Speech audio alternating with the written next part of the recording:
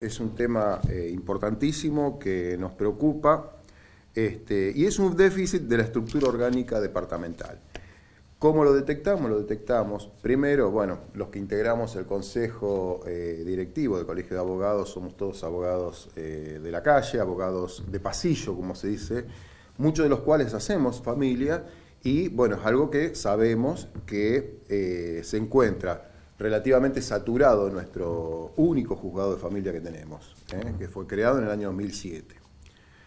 Eh, asimismo, también nos nutrimos de todos eh, los comentarios, este, las opiniones que nos vienen de los propios matriculados, que vienen bueno, nos dicen, mira, fíjate cómo se demora esto aquello, dentro de, siempre digo, de los términos o plazos este, legales que corresponden, porque en eso hay que destacar la predisposición que existe dentro del juzgado, tanto del juez, de los funcionarios y el resto de los empleados, de mantenerlo al día. Eh, no obstante eso, también, eh, como tenemos los consultorios jurídicos gratuitos, donde muchos, llamémosle justiciables, ¿no? al ciudadano o al habitante común que acude de bajos recursos a nuestro colegio, también eh, estamos viendo cómo se fue incrementando todo el tipo de casos de materia de familia.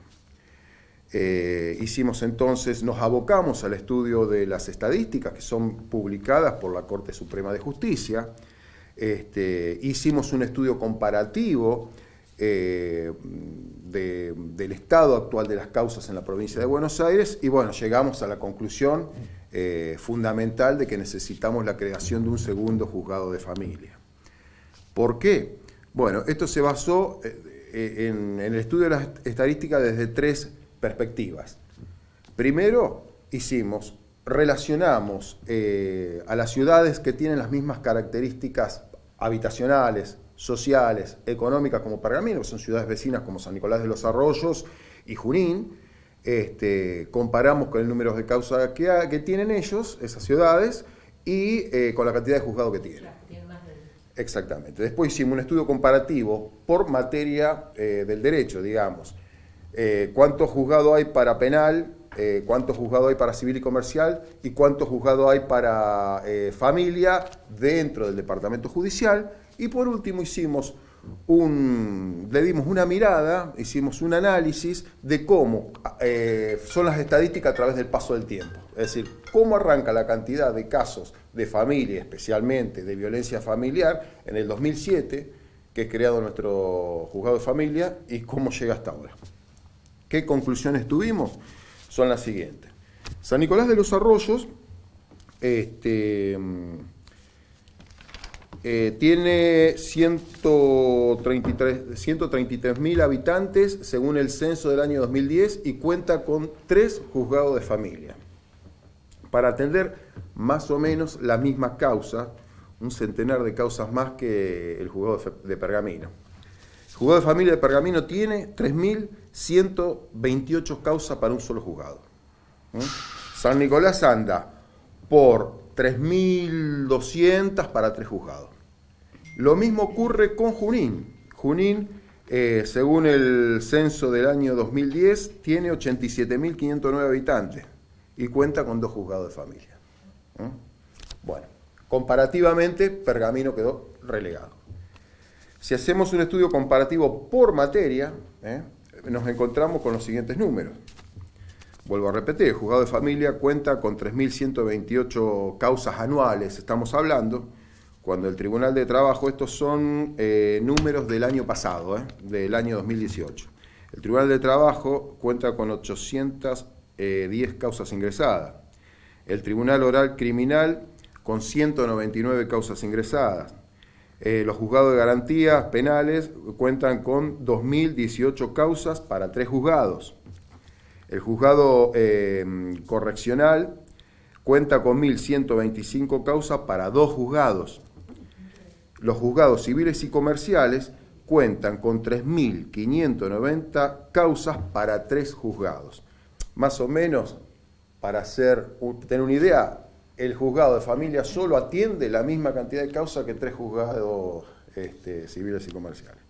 En el año 2015, cuando comenzamos con todo este proyecto, lo que se hizo es eh, buscar dentro del ámbito político el apoyo del Consejo Deliberante de acá de Pergamino.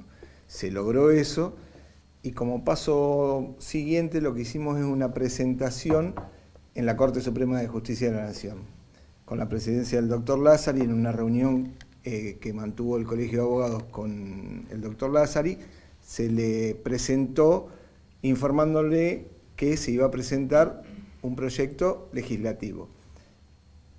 Ese proyecto de creación de ese juzgado se iba a presentar en las cámaras legislativas.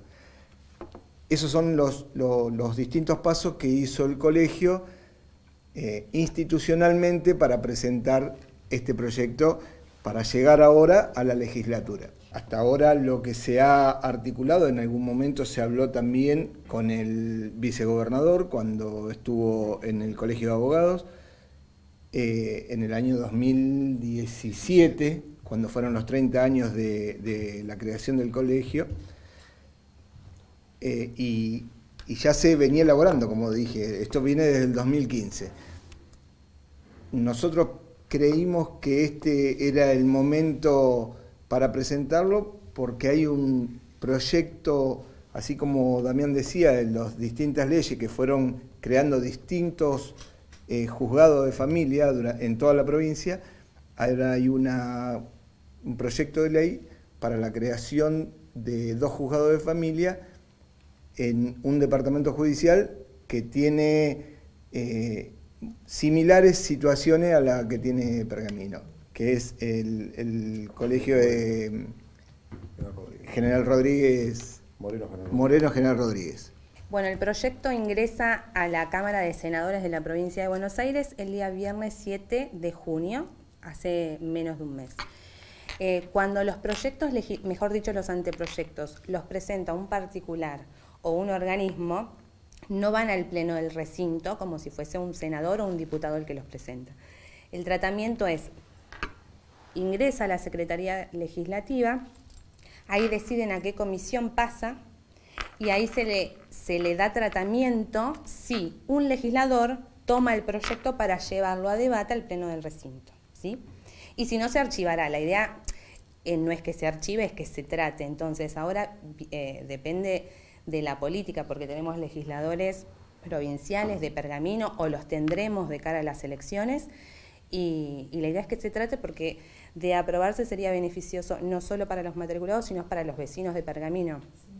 Porque, bueno, como bien decía Pimpinati, la problemática de la violencia familiar y de género es un fenómeno a nivel mundial, cada vez hay más denuncias y el 63% de las causas son de violencia de género y al haber dos juzgados sería mucho más beneficioso para la gente, para el juzgado, para los matriculados, para todo el mundo. Y por eso hacemos un llamamiento a, todo el abanico político. Lo hemos hablado igual con los legisladores, con el doctor Marcelo Pacífico, eh, con la doctora, eh, con la diputada Lázari, se han mostrado muy interesados. Esperamos que, bueno, ahora estamos en época de campaña y todo eso, pero veremos después la composición nueva del Congreso. Este, bueno, sí. Eso eh, también eh, hemos tenido reuniones con el intendente municipal que lo ha declarado de interés municipal al proyecto con la aprobación unánime del Consejo Deliberante. Esto no es un problema del Colegio de Abogados, esto es un problema que afecta a los departamentos judiciales de, Pergamino, que como judicial de Pergamino, que, pero eh, habitacional es Pergamino y Colón. Por lo tanto, es un beneficio para los dos departamentos de, de las localidades recién mencionadas.